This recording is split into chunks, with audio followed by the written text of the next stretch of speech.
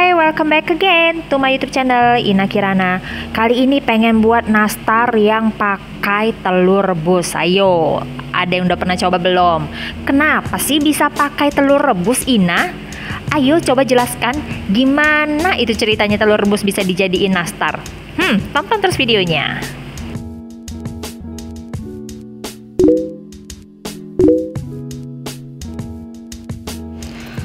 Guys, berikut bahan-bahannya. Yang pertama ada kuning telur rebus.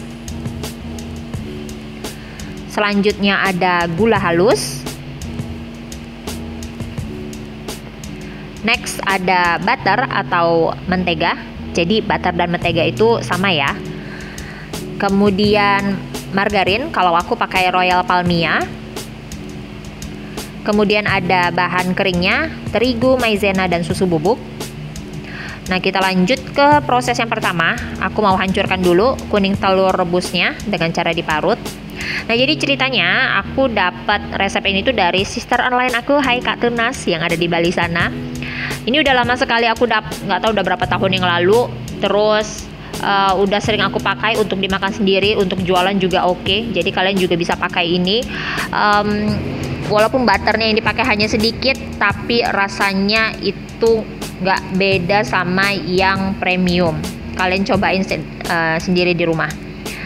Terus setelah uh, kuning telurnya ini diparut kita campurkan dengan si mentega dan margarin. Kalau aku menggunakan tangan aja untuk mencampurkan mereka ini kalian bisa menggunakan sendok kayu atau spatula atau boleh pakai mixer Nah, jadi ceritanya guys, pada zaman dahulu itu ciwi-ciwi Indonesia ini pengen ngebuat cookies tapi daya beli masyarakat kita dulu kan masih rendah ya. Jadi untuk membeli butter itu sangat susah sekali karena harga butter kan mahal ya Bo produk impor nah jadi mereka berpikirlah gimana caranya bisa membuat cookies yang enak seperti yang dibuat noni-noni Belanda pada saat itu? Jadi mereka bereksperimen lah pakai kuning telur rebus ini. Dan tak disangka dan tak dingana hasilnya kok enak ya kan? Nah tersebarlah cara pembuatan adonan cookies dengan menggunakan uh, kuning telur rebus gitu. Kita cut dulu ceritanya lanjut ke prosesnya kemudian masukkan si gula halus. Ini tetap diaduk rata juga. Kalau mau pakai tangan silahkan ya tapi jangan lupa pakai sarung tangan Selanjutnya kita masukkan bahan keringnya e, bertahap ya, jangan sekaligus dimasukkan semua. Nah kalau misalnya kalian rasa nih adonannya masih agak sedikit um, apa namanya ya, agak lengket, boleh ditambahkan terigunya, tapi jangan sampai melebihi 100 gram.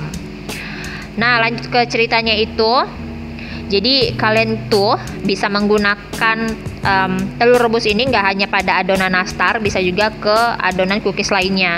Jadi kalau misalnya uh, apa namanya ya proses pemanggangannya itu benar jadi cookiesnya itu bisa tahan lebih lama gitu karena menggunakan telur rebus ini.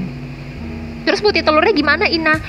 Ya bisa dibuat uh, ke menu lain kayak misalnya di sambal kek atau buat isian uh, risol ya kan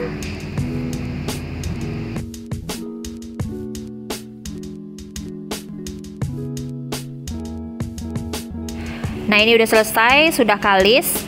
Mau aku bulet-buletin dulu, mau aku cetak. Nah seperti biasa, aku menggunakan sendok takar. Ini ukurannya satu teaspoon, satu sendok makan. Jadi ini aku cetak dulu sebelum aku isi. Jadi biar mudah, tangannya tuh nggak lengket-lengket sama selai nastar nantinya. Ini dicetak-cetak sampai selesai atau kalian bisa menggunakan timbangan jadi ditimbang satu-satu biar uh, sama rata bulatnya.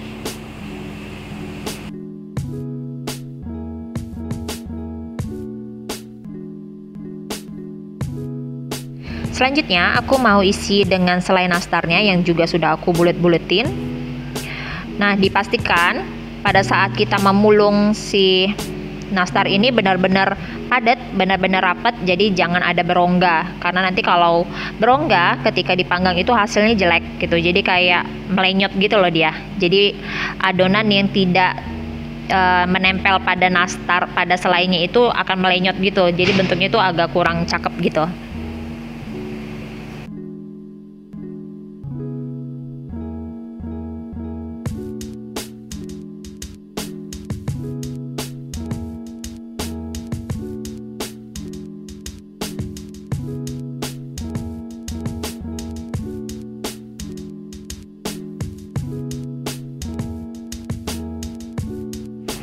Nah ini sudah ditata di dalam loyang.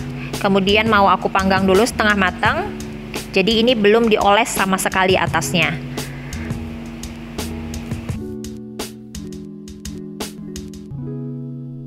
Dan voila, ini sudah uh, selesai pemanggangan yang pertama dibiarkan dulu dingin jadi sebelum dipoles itu biarkan aja dulu dingin jangan dipoles dalam keadaan masih panas. Nanti akan gerutul-gerutul atasnya. Nah ini sudah dingin sudah bisa kita poles dengan kuning telur. Untuk polesannya itu aku hanya menggunakan kuning telur kemudian sedikit susu cair dan sedikit putih telur. Jadi hasilnya bisa tetap shiny kemudian um, atasnya itu juga tidak kelentek-kelentek polesannya. Jadi merekat gitu lalu tidak berminyak karena aku tidak pakai minyak sama sekali nah ini setelah dipoles gini jangan langsung dimasukkan ke dalam oven tapi biarkan dulu diangin-anginkan sampai polesannya kering baru dimasukkan ke dalam oven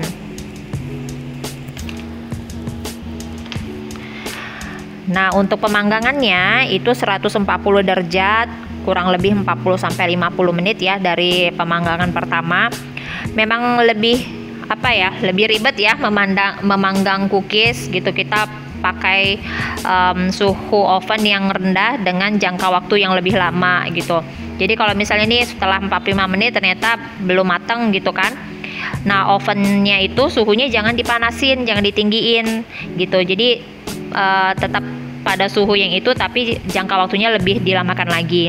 Nah ini sudah selesai dipoles semua. Ini mau aku angin-anginkan dulu sebelum dimasukkan ke oven untuk pematangan.